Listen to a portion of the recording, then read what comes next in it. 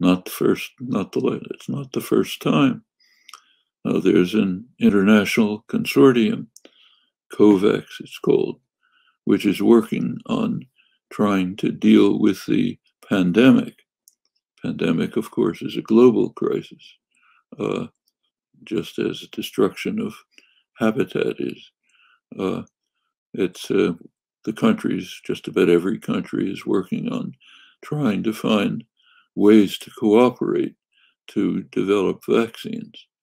Obviously, cooperation and free interchange is the most effective way.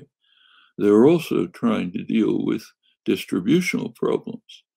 How do we ensure that if vaccines are developed, they won't be monopolized by the rich, not only by the rich countries, but by the rich in the rich countries? How do we deal with that? Uh, one country is missing. The Trump administration pulled out of the agreement, refused to participate.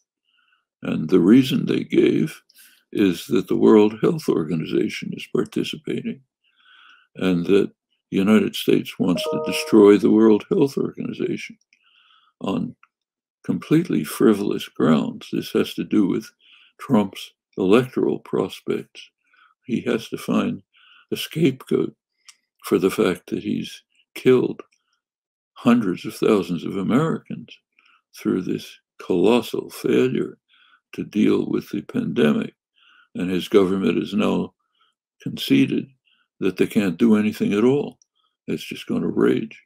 You can't you can't accept the blame for that. So you have to blame someone else.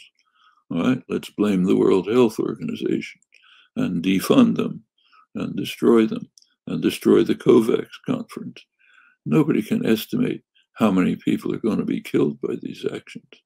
Uh, poor people in Africa, in Yemen, other places rely on the services of the World Health Organization for survival from many diseases.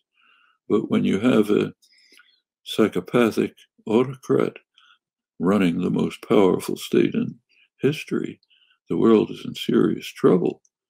And uh, November 3rd, the election day, that will actually be decisive in determining whether the world has much hope in overcoming the crises that it faces.